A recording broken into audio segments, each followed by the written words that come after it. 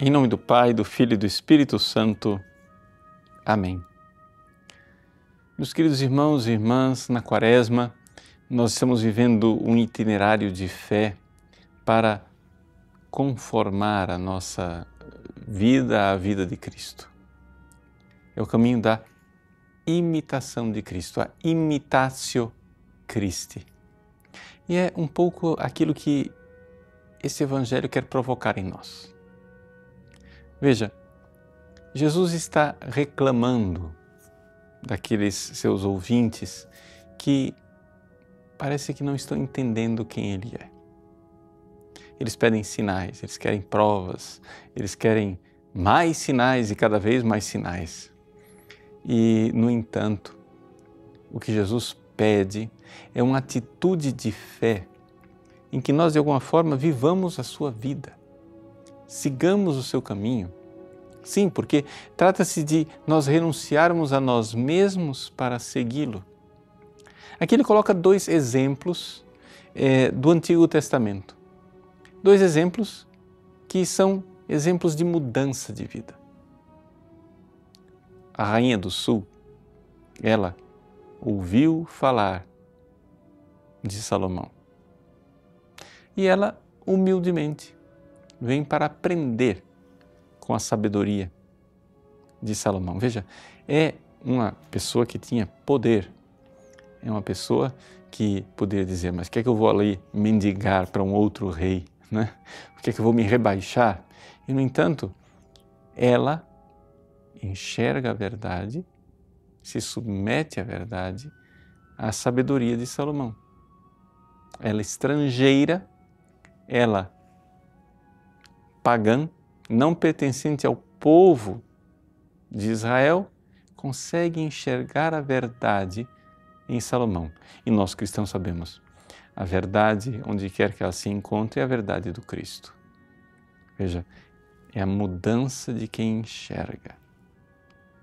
Aí nós temos o exemplo contrário. Veja, a rainha do sul é o quê? Uma pagã que vê a verdade no povo de Deus. Mas o exemplo contrário é o de Jonas. Deus envia Jonas numa missão estranha de ir lá pregar a conversão para o povo pagão. E Jonas não quer. Jonas eh, não quer essa conversão, não quer esta mudança. Quer que os ninivitas sejam castigados, porque eles fizeram mal a Israel, eles fizeram mal ao povo de Deus que eles não se convertam e pereçam. Mas exatamente na conversão dos ninivitas, nós temos aí a ocasião de Jonas, que é do povo de Deus, mudar, mudar o seu coração para entender qual é a vontade de Deus verdadeiramente. E a vontade de Deus é que todos os homens sejam salvos e cheguem ao conhecimento da verdade seja a Rainha do Sul, sejam os ninivitas, Jesus quer a nossa transformação e a nossa conversão. Mas somos nós que somos nossos inimigos. Somos nós que não queremos a nossa conversão. Somos nós que não queremos o nosso bem. Encontramos a verdade, a verdade que está aí, a verdade que a rainha do sul aceitou tão facilmente, a verdade que os ninivitas aceitaram tão facilmente, nós não aceitamos. Nós queremos mais provas. Nós queremos mais sinais. Sabe por quê? Porque não são suficientes. Sem vergonhice nossa.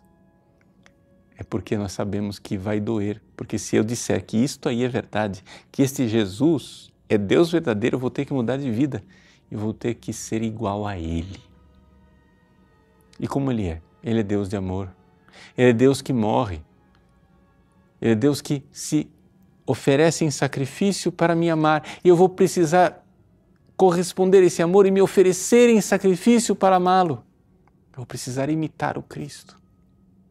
A verdade está aí e eu quero mais provas, mas não porque eu necessito de provas, porque eu sei que se eu aceitar a verdade eu vou precisar mudar e conformar o meu coração ao coração do Cristo, amar de volta aquele que nos amou mas se ao contrário, eu for virtuoso e aceitar a verdade de Cristo, como os ninivitas aceitaram a verdade pregada por Jonas, e a rainha do sul aceitou a sabedoria de Salomão, se eu aceitar a palavra da verdade de Cristo, então eu vou ter que dizer como São Paulo, o amor de Cristo nos impele. Caritas Christi urget nos, nos impele a amar de volta aquele que se entregou e morreu por mim. Deus abençoe você.